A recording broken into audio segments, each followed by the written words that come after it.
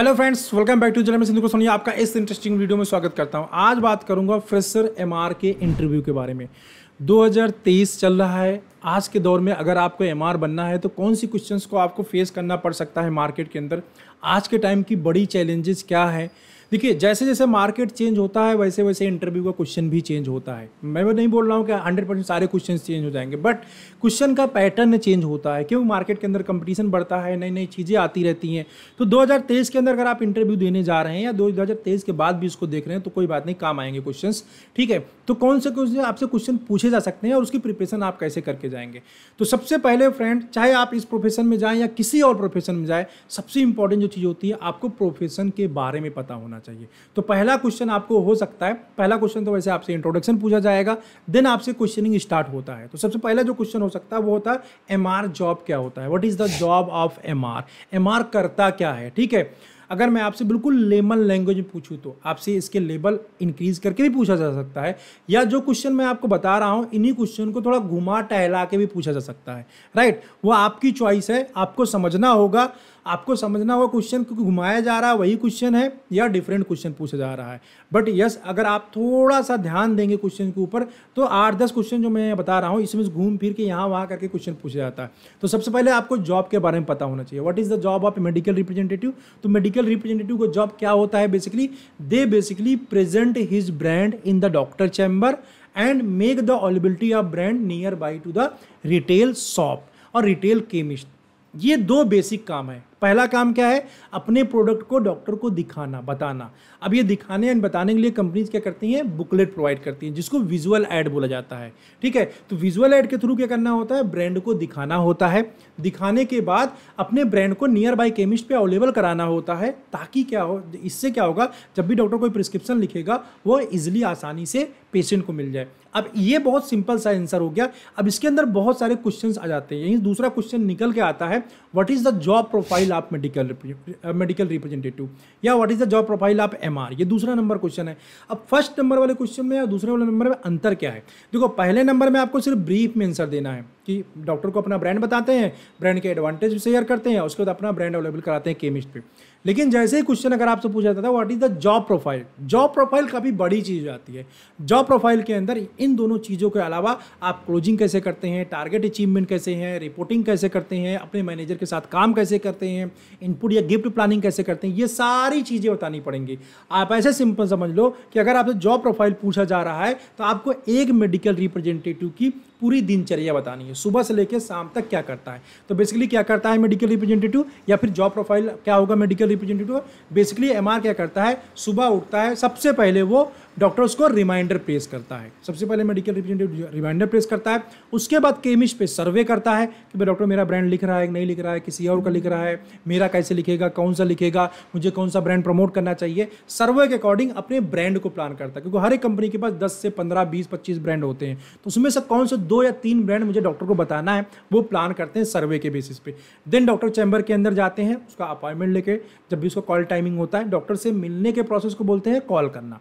Right? तो जब भी कॉल टाइमिंग होती है डॉक्टर हर एक डॉक्टर की अलग अलग कॉल टाइमिंग होती है। जब आप फ़ील्ड में काम करने लग जाते हैं तो पता रहता है। कॉल टाइमिंग के अकॉर्डिंग जो है, कॉल प्लान हम बना लेते हैं। सुबह जब घर से निकलना होता है, तभी डायरी के ऊपर एक पॉकेट डायरी हमारा हमेशा रखता है। उसके अंदर कॉल प्लान बना लेता है डॉक्टर का। ठीक है? तो डॉक्टर के लिए हमने कॉल प्लान बनाया। उसके अकॉर्डिंग गए, हमने रिमाइंडर प्लेस किया। फिर हमने केमिस्ट के ऊपर सर्वे किया। सर्वे के बाद फिर डॉक्टर से मिलने चले जाते हैं। अब मिलने के बाद अपना जो विजुअल एड है, ठीक है, मैं आपको दिखा भी देता हूँ विजुअल कैसा होता है। ये विजुलेट है, ये कंपनी चरक कंपनी का ये विजुलेट है, ठीक है? तो इस टाइप से कुछ विजुलेट होता है। अब इसके अंदर देखो, सारे ब्रांड्स दिए गए इस टाइप में कुछ ब्रांड दिया रहता है राइट आपको ब्रांड दिख रहा होगा राइट तो यहाँ से, अब इसमें बहुत सारे देखो, यहाँ से ब्रांड जो भी ब्रांड मैं ओपन करना चाहता हूँ, उसको यहाँ से फिंगर लगा के मैं इस तरीके से देखो, आप ओपन कर सकता हूँ, ठीक है? तो ये बेसिकली विजुलेट है। इसी से हम ब्रांड को डिटेल करते हैं और ये जो विजुलेट होता है, ये मल्टी पेज होता है। देखो, यहाँ भी ये पेज कंटिन्यू हो रहा है, इसके बारे में बताया जा रहा है राइट तो ये बेसिकली विजुलेट है। तो यहाँ साइंटिफिक जो चीज़ें हैं, वो चीज़ें दी गई हैं। इससे हम डॉक्टर्स को बताते हैं डॉक्टर को कन्विंस करते हैं अपने ब्रांड को प्रिस्क्राइब करने के लिए। अब ये प्रोसेस ब्रांड हम सारे डॉक्टर्स में रिपीट करते रहते हैं। ऐसा मैंने आपको एक डॉक्टर के लिए बताया, यही प्रोसेस हम सारे डॉक्टर्स पे रिपीट करते हैं। कितने डॉक्टर्स कॉल करना होता है डेली बारह डॉक्टर हमें कम से कम मिलना होता है। इससे हम डॉक्टर्स को कॉल करते हैं मतलब अपने ब्रांड के बारे में बताते हैं। फिर अगेन जाते हैं केमिस्ट के पास और इंश्योर करते हैं कि भाई डॉक्टर ने क्या बोला। लिखने के लिए बोला तो केमिस्ट को बोल के आएगा, डॉक्टर साहब ने लिखने के लिए बोला है अवेलेबल करा देना। अगर कुछ नहीं बोला है तो अपना ब्रांड लिख के आएँगे, सर, अगर कोई ब्रांड आता है तो सर का प्रिस्क्रिप्शन आता है तो ये अवेलेबल करा लेना। अगर लिखने के लिए बोला है तो अवेलेबिलिटी इंश्योर करेंगे। लिखने के लिए लिखने के लिए नहीं बोला है प्रिस्क्रिप्शन देने के लिए डॉक्टर ने नहीं बोला है तो उस कंडीशन के अंदर क्या होगा, हम केमिस्ट को इंश्योर करेंगे, जब आएगा तो मंगा लेना। ठीक है? तो दूसरा क्वेश्चन आपका जॉब प्रोफ़ाइल का ये रहता है। अब इसके अंदर और कौन सी चीज़ें आपको ऐड करनी है? तो पूरे दिन का हो गया डॉक्टर से मिलना केमिस्ट से मिलना, इसके बाद आपको स्टॉकिस से मिलना है। टारगेट अचीवमेंट करना है। टारगेट अचीव करने के लिए कंपनी में ऑर्डर भेजना होता है चेक भेजना होता है। हर मंथ एंड पे जो है टारगेट अचीव करना होता है। इसके अलावा आपको डेली रिपोर्टिंग करना होता है अपने मोबाइल के ऊपर। कंपनीज़ आपको मोबाइल रिपोर्टिंग सॉफ्टवेयर प्रोवाइड करती हैं, जिसके अंदर रिपोर्ट करना होता है। ठीक? आपको प्रॉपर टाइम पे टूर प्लान भेजना होता है। मतलब अगले महीने में कहाँ काम करने जाऊँगा? वो हर महीने के पच्चीस तारीख तक नेक्स्ट मंथ का प्लान कंपनी में चला जाता है। जब कोई मैनेजर काम करने आता हो तो उसके साथ ज्वाइंट वर्किंग करना बोलते हैं जो है। तो मैनेजर के साथ जब वर्किंग करते हैं तो उसमें गिफ्ट वगैरह बांटते हैं हम। इनपुट वगैरह बांटते हैं सैंपल्स देते हैं, कोई साइंटिफिक लिटरेचर होता है तो उसको हैंड ओवर करते हैं, ठीक है?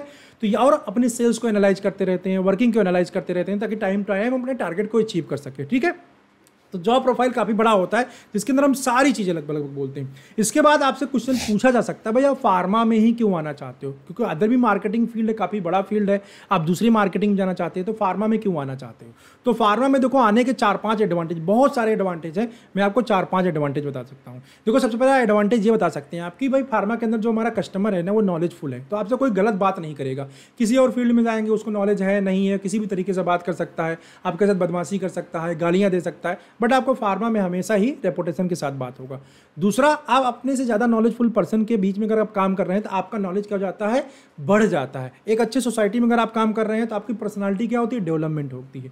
तीसरा एडवांटेज क्या है? यहाँ पे फिक्स नंबर आप कस्टमर है। बाकी अगर किसी और मार्केटिंग में अगर जाते हैं तो कस्टमर कोई फिक्स नहीं होता। आपको प्रोडक्ट बेचना है, कोई भी कस्टमर हो सकता है। बट यहाँ पे नंबर क्या है? फिक्स है। ओनली हंड्रेड डॉक्टर्स के ऊपर काम करना है हंड्रेड ट्वेंटी फाइव पे करना ट्वेंटी फाइव पे करना है। तो इससे क्या होता है बिज़नेस निकलने के चांसेस बढ़ जाते हैं, क्योंकि बार बार उसी के ऊपर आपको काम करना है। चौथा एडवांटेज क्या होता है, यहाँ पे आपको पर्सनैलिटी डेवलपमेंट के लिए जो है कंपनी बहुत सारी चीज़ें जो है करती हैं एक्टिविटी एज वेल एज आप डिफरेंट टाइप के कस्टमर्स हैंडल करते हैं, जैसे केमिस्ट हो गया डॉक्टर हो गया। तो इससे क्या होता है, आपका जो ओवरऑल पर्सनालिटी डेवलपमेंट है, आपकी रीजनिंग एबिलिटी है, आपकी अंडरस्टैंडिंग जो मेच्योरिटी लेवल है, वो डेवलप हो जाता है, ये एडवांटेज है। फोर्थ अगर हम बात करें तो यहाँ पे growth opportunities growth growth opportunities other field में भी है बट फार्मा के अंदर क्या है मल्टी लेवल ग्रोथ अपॉर्चुनिटीज़ जैसे आपने मान लीजिए as a M R join किया तो कोई ज़रूरी नहीं कि आगे भी आप एम आर ही बने रहो, आप मैनेजर बन सकते हैं, आप जनरेशन बन सकते हैं मतलब सेल्स के लाइन में ग्रोथ करते हुए चले जा सकते हैं. लेकिन आपका मन नहीं कर रहा, बाद में मन बदल गया, यार सेल्स में बहुत प्रेशर है, बहुत स्ट्रेस नहीं लेना है सेल्स में कौन काम करेगा? आप एम आर के बाद चाहो तो अपना फ़ील्ड बदल सकते हो, आप एम आर के बाद ट्रेनिंग में जा सकते हो, पढ़ाने वाले में जा सकते हो. कंपनी के पास ट्रेनिंग डिपार्टमेंट होता है आपको ट्रेनिंग में जाने का मन नहीं, मान लो आप बी करके आए हो, आपको ट्रेनिंग में नहीं जाना है, आपको ज़्यादा नॉलेज नहीं है तो आप डिस्ट्रीब्यूशन में जा सकते हैं। यहाँ पे सीएफए मैनेजमेंट पूरी डिस्ट्रीब्यूशन चेन होती है वहाँ पे जा सकते हैं राइट आपको कम्युनिकेशन अच्छा है, आप इंटरनेशनल मार्केट में जा सकते हैं। आपको कोई दूसरा लैंग्वेज आता है मतलब फ्रेंच आपको आता है कोरियन आपको आता है तो उस केस में क्या है? आप इंटरनेशनल मार्केट के अंदर भी चाहो तो काम करने जा सकते हो कंट्री मैनेजर बन के जा सकते हो मतलब मल्टी डायरेक्शन यहाँ पे ग्रोथ करने की अपॉर्चुनिटीज़ है। आपने ग्रेजुएशन सिंपल किया हुआ बीए किया हुआ बी किया है बी किया है, उसके बाद आपने एमबीए कर लिया सपोज़ दैट तो इसके बाद क्या है? आप एचआर में जा सकते हैं, आप अकाउंट्स के अंदर जा सकते हैं। इतना मल्टी डायरेक्शन ग्रोथ आपको फ्रेंड किसी भी और जॉब के अंदर नहीं मिलता, जो आपको मेडिकल रिप्रेजेंटेटिव के जॉब में मिलता है। बट यहाँ पे क्या ना अपॉर्चुनिटी कैश करनी होती है राइट तो ये आपका, अगर इस टाइप से कुछ क्वेश्चन पूछा जाता है तो क्यों आप आना चाहते हो? तो यहाँ पे आप इस तरह से एडवांटेज शेयर करना चाहते हैं। अब क्वेश्चन आपसे पूछा जा सकता है, जो नेक्स्ट क्वेश्चन है, भाई आपको मैं हायर ही क्या क्यों करूँ? आपके पास क्या ऐसी खास बात है? ठीक है, क्यों हायर करें? मार्केट के अंदर बहुत सारे कैंडिडेट हैं। तो आपको इसमें क्या रिप्लाई करना है? इसका रिप्लाई बहुत डिफरेंट डिफरेंट हो सकता है। बट जो मैं आपको सजेस्ट कर रहा हूँ, आप इसको ट्राई कर सकते हैं। ठीक है? क्यों हायर के तो आप बोलो कि, सर, देखो, जो आप दूसरे कैंडिडेट को हायर करोगे, उसका मुझे पता नहीं वो अच्छे से काम करेगा कि नहीं करेगा। बट मैं इस फ़ील्ड के लिए डेडिकेटेड हूँ और मैं काफ़ी टाइम से यहाँ की प्रिपरेशन भी कर रहा हूँ। इतना मैं आपको गारंटी दे सकता हूँ कि अगर आप मुझे हायर करते हैं तो 100 परसेंट है, मैं वो काम करूँगा जिस काम के लिए मुझे आप हायर करेंगे। मैं 100 परसेंट डेडिकेटेड हूँ कंपनी के लिए, ठीक है? इसके बाद फ्रेंड नेक्स्ट क्वेश्चन हो सकता है आपके सब्जेक्ट से रिलेटेड मान लीजिए आप बीए करके आए हैं तो हो सकता है जैसे मैं इंटरव्यू ले रहा हूँ तो कोई बंदा अगर बीएससी करके आया हुआ है, कोई फार्मेसी करके आया हुआ है तो क्या मेरी उस सब्जेक्ट के अंदर होल्ड है? तो मैं उससे रिलेटेड क्वेश्चन पूछ रहा हूँ, जैसे फार्मेसिस्ट कोई आया तो what is the pharmacology pharmacokinetic drug का क्लासिफिकेशन रूट ऑफ़ एडमिनिस्ट्रेशन इस टाइप से क्वेश्चन पूछे जा सकते हैं। राइट तो ऐसे ही आपके सब्जेक्ट से रिलेटेड अगर आप मुझे बीए करके आएँगे, मैं आपसे जनरल जीके को कोई क्वेश्चन पूछ सकता हूँ। ठीक है आप सिंपल कैलकुलेशन में पूछ सकता हूँ। तो इस टाइप सब्जेक्ट नॉलेज के ऊपर क्वेश्चन पूछा जा सकता है। इसके लिए जिस भी सब्जेक्ट के साथ आपने ग्रेजुएशन किया हुआ है, उसको थोड़ी सी आप प्रैक्टिस कर लीजिए। इसके बाद जो नेक्स्ट क्वेश्चन होता है, वो आपके रिज्यूमे से क्वेश्चन पूछा जाता है। मान लो आपको दे दिया कि ऑब्जेक्टिव पढ़ो और इसका मुझे हिंदी में मतलब बताओ। तो कई मेडिकल रिप्रेजेंटेटिव को मैंने देखा है कि वो जो रिज्यूमे बनवा के लेके आते हैं, खुद तो बनाते नहीं रिज्यूमे, वो साइबर कैफ़े वाले बनवाते हैं। अब उसके अंदर वो कुछ भी लिख देता है, जो उसके बाद प्री सेट बना होता है, वैसे अपना नाम डाला, आपके डिटेल्स डाले और बना के आपको दे दिया। अब उसके अंदर इंग्लिश में क्या लिखा, वो पता ही नहीं। और आपने बहुत चौड़िया के उसके अंदर लिख दिया, मुझे कंप्यूटर आता है।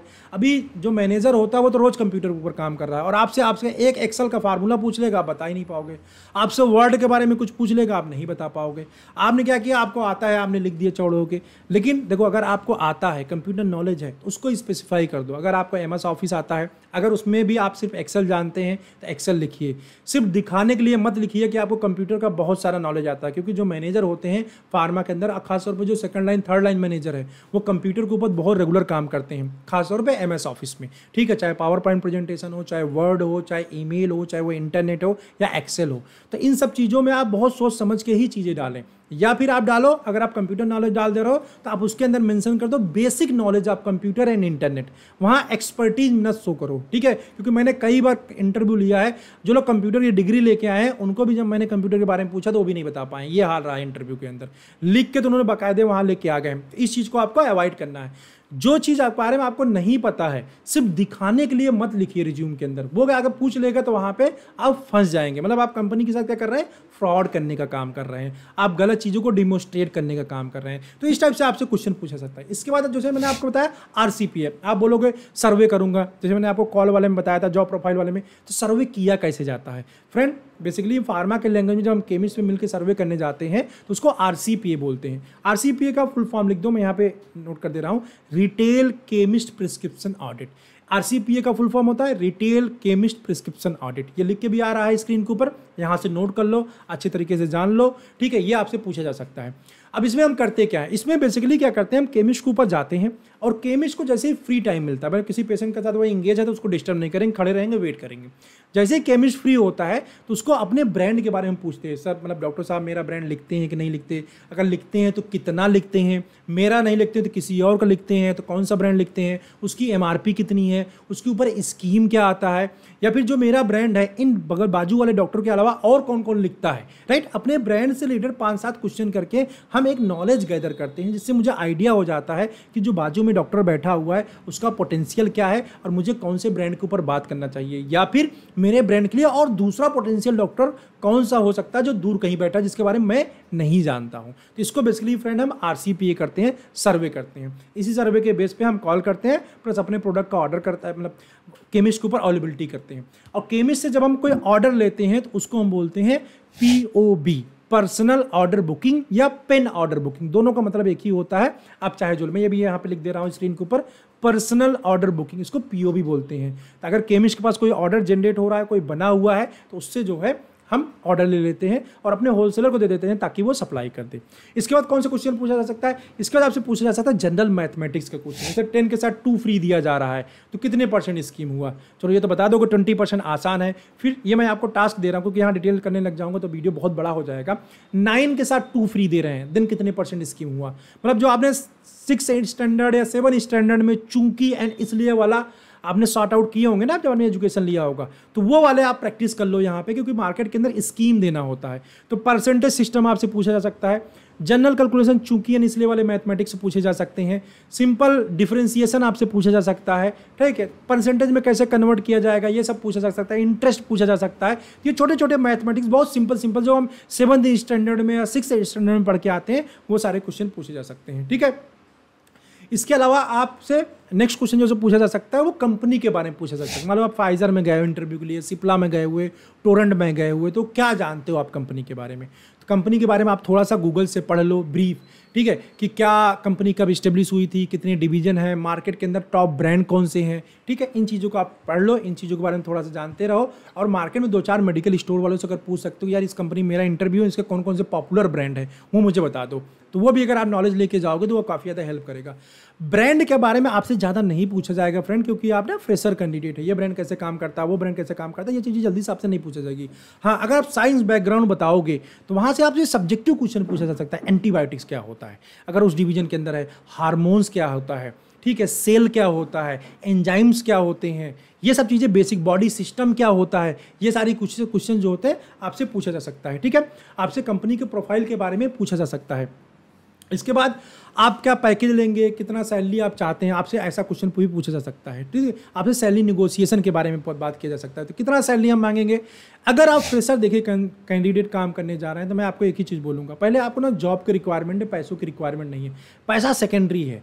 अगर आप अच्छे से काम करेंगे, अच्छे से परफॉर्म करेंगे, पैसा आ जाएगा। कभी भी जॉब के अंदर अगर आप फ्रेशर हैं देन आपको पैसा डिमांड नहीं करना है। आपको क्या बोलना है? सर कंपनी का जो भी स्टैंडर्ड पैरामीटर है, मैं उसके ऊपर काम करने को तैयार हूँ। क्योंकि फ्रेंड देखो, आप फ़ील्ड में आ जाओगे ना फ़ील्ड में काम करने लग जाओगे ना जॉब्स बहुत सारी, यहाँ भर भर के जॉब्स रहती हैं एम में। हमेशा ही खाली रहता है, ठीक है? तो बहुत आसानी से आपको बहुत सारे जॉब मिल जाएँगे। ज़रूरत है आपको फ़ील्ड में आके मेहनत से काम करके अपना एक पहचान बनाने की। तो ये आठ दस क्वेश्चन मैंने आपके लिए लिखे हुए थे, ठीक है? आप इनको प्रैक्टिस कर लीजिए। इन सारे कुछ, ये सारे क्वेश्चंस जो हैं, आपको काफ़ी हेल्प करेंगे। कुछ मेडिसिन का नाम वगैरह भी याद रख लीजिएगा। काफ़ी ज़्यादा आपको हेल्प मिल जाएगी। इसके साथ ये सारे तैयार तो कर लिए। वैकेंसी कहाँ मिलेगी?